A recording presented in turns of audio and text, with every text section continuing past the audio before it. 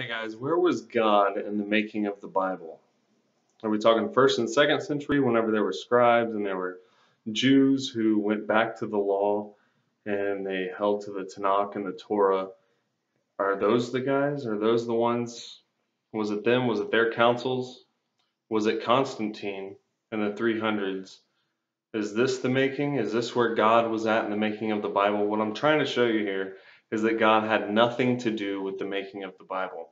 Constantine, to be a general in Rome in that day and age, you had to be a great warrior.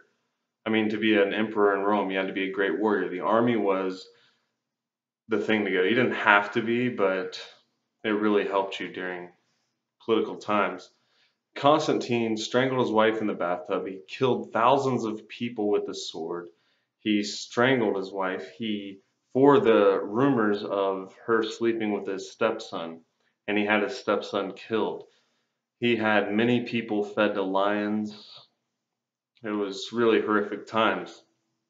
Was it King Clovis, the protector of Christ's bloodline, who had a thousand man army that went from town to town killing anybody who wasn't Christian? King Clovis, who used to do the, I forget what it was called, but to see if you were a sinner or not, they would stick your hand in boiling oil and then if you made it through it and didn't wind up getting gangrene or something, then then you were a righteous person. Well, King Clovis, these are the reasons that we have the Bible. King Clovis had a thousand man army and he went from town to town killing anybody who wasn't Christian and he killed every single person in his family because back in the day he was king of the Franks. And back in the day, anybody under the French custom, anybody who was in your family could usurp your throne. So he killed every single person in his family. Then you've got people like Justinian, Emperor Justinian, during the bubonic plague, where he put 30,000 unsuspecting fans, lured them into the Colosseum, and killed every one of them unarmed, killed every one of them. He made it through the bubonic plague, but most of the people in his kingdom didn't. And he went from town to town also killing and burning anybody. He would burn your family, your babies in barns if they were not Catholic. All right. What's his name? Theo Theodos? I don't even remember his name. But he's the one who made the Catholic Church the he pretty much put out an edict that said if you weren't Catholic you could be killed and that was 380 380 AD. I forget his name. I don't know why it's just slipped my mind. But so is it people like Constantine, Justinian, Clovis? You've got King Charlemagne. There were other ones. There were Otho. There was uh, so many other people that were terrible. And this is how Christianity came about. It wasn't some, from some peace-loving gospel of preaching Jesus to everybody. That's not how Christianity got here. That's not how the Bible got here. It was through ruthless murder, killing, and killing anybody who was not Christian. And you can break it all the way down to your grandma. You can break it all the way down to if you would have said something about the Bible 100 years ago, your grandma would have beat you and cast you out of the family. Uh, you can, it goes so far back that with religious oppression. But was it Charlemagne who went over 50 military campaigns in 48 years, killing anybody who wasn't Christian? They said the river ran with blood. They said he killed 4,500 people in one sitting in one sitting chopped their heads off. He said, You either accept Christ, get baptized under the authority of the Pope, or you get your head chopped off, you and your family. And they said the river ran with blood for three days because how many people did he kill? Do you think it was people like Calvin? Are you a Calvinist? All these people were burning each other at the stake. Thousands of people were burned at the stake during these wars between the Catholic Church and the Protestant Church. Do you think it was William Tyndale who made a Bible for a king that's going to chop his wife's head off, heads off, and hang him on London Bridge whenever he was the impotent one? He, they were, he hung his own wives on London Bridge, called himself the emperor, said he was the head of the church, broke off from the Catholics. This is how the Bible got here. Calvin had another long lifetime scholar burned at the stake under his words, had him burned at the stake because he disagreed with him. These are the way that the Bible got here. This is the way that it, that it, that it happened. You've got King James, who had secret tunnels leading into his chambers. And again, I am not saying anything about homosexuality or even my thoughts on it. So you have no idea what I think about that, and I'm not putting that in there.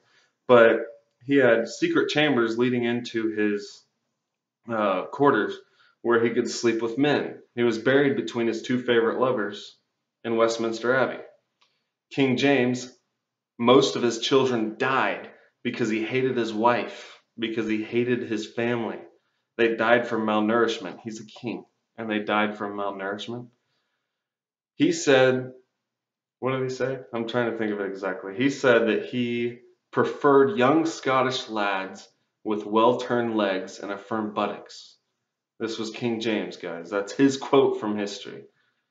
And the Bible says it talks against homosexuality, but the only reason that you guys have a Bible is because King James brought the Catholics and Protestants together and authorized it and stopped the war because his mother was uh, Catholic and his father was Protestant, and they were both killed because of it. So he stopped the war and got them together, and that's the reason that you have a Bible is because of a homosexual king.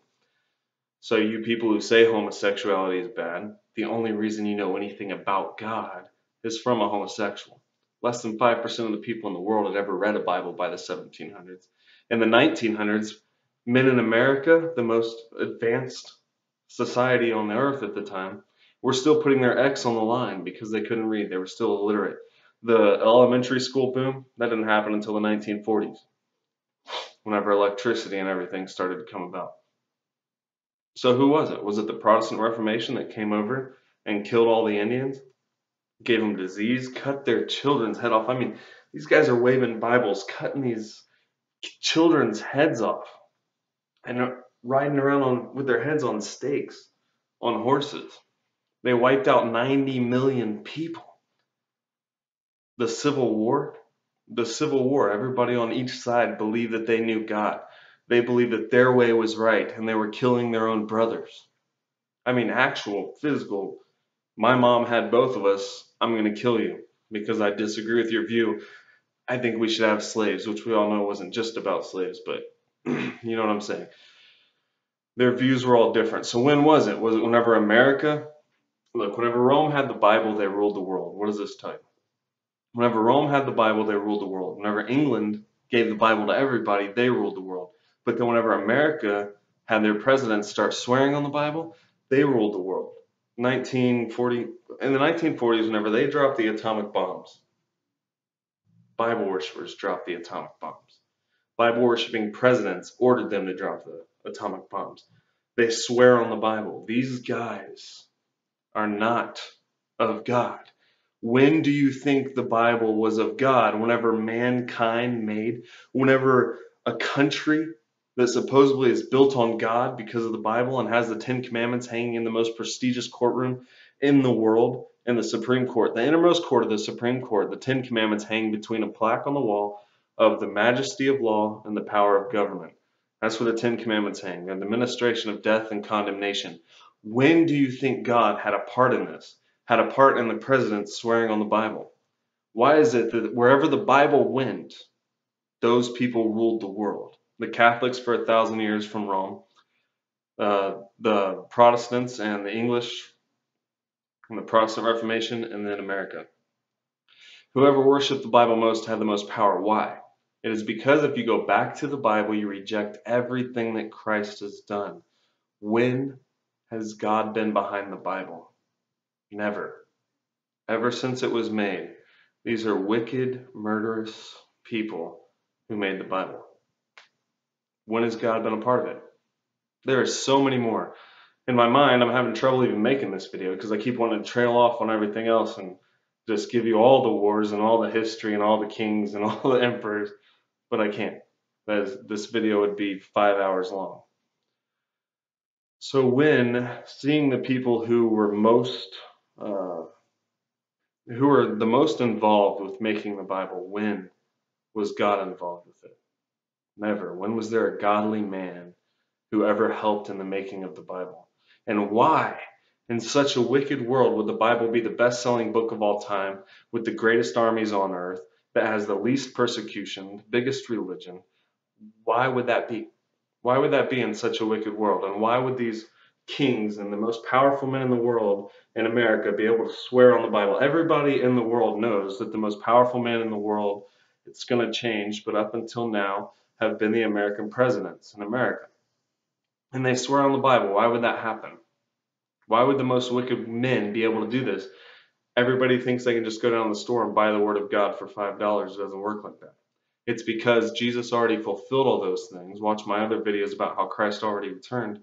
He already fulfilled all those things, and going back to it rejects him and everything that he's done.